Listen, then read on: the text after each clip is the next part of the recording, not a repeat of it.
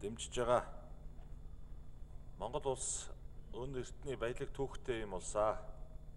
За тэгээд түүхийг бид нар ухрааж шүүж дахин одоо шинээр эхлэх боломж байдгүй. Тийм учраас энэ одоо тогтоолд хүндэтгэлтэй хандж байгаа.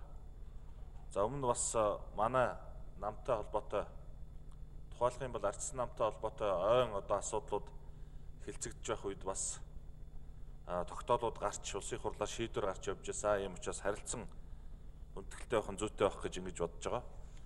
За намууд бие биенийхээ дотоод хэрэгт оролцохгүй хэн нэрх барьж байгаагаасаа үл шалтгаалж а төрийн захиргааны байгууллагуудаар нэгнийхээ одоо дотоод хэрэгт оролцохгүй баймаар байна гэсэн ийм үгийг хэлмээр байна.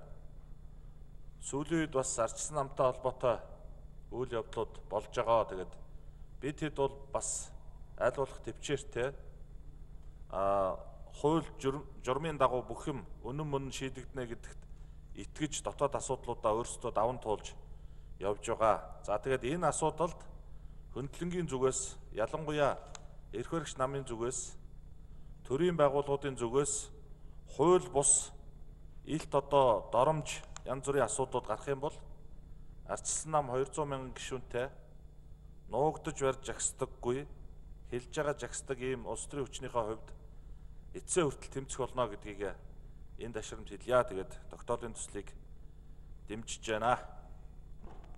За асуулт шүүх хэллээ. За бөхчлөөний бүрөд орж хэрхэн гүшүүн бөхчлөөний бүрөд